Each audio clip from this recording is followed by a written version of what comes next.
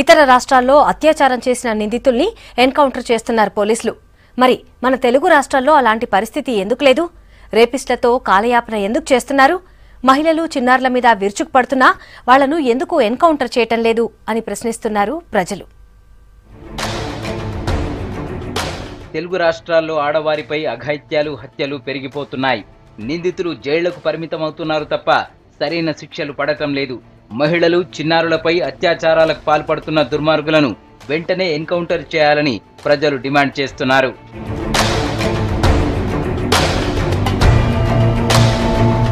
Hajipur psycho killer Srinivas Reddy Warangal హన్మకొండలో చిన్నారిని చంపేసిన ప్రవీణ్ అంగవైకల్యంతో ఉండి మరీ అత్యాచారం చేసిన మరో దుండగుడు. ఇలా తెలుగు రాష్ట్రాల్లో అమ్మాయిలు చిన్నారులపై అత్యాచారాలు పెరిగాయి. హాజీపూర్ ఘటన జరిగిన తర్వాత నిందితుడు శ్రీనివాస్ రెడ్డిని కఠినంగా శిక్షించాలని ఎంతో మంది నిరసన వ్యక్తం చేశారు. సోషల్ మీడియాలోనూ స్పందించారు. కానీ ఇంతవరకు నిందితుడికి శిక్ష పడలేదు.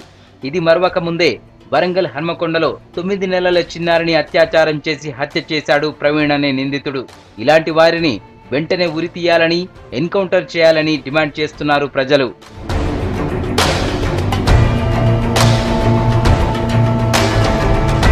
పంజాబ్లో అత్యాచారాలకు పాల్పడుతున్న నిందితులను ఎన్కౌంటర్ చేస్తున్నారు పోలీసులు. మన రాష్ట్రంలో అలాంటి పరిస్థితులు లేవంటున్నారు జనం.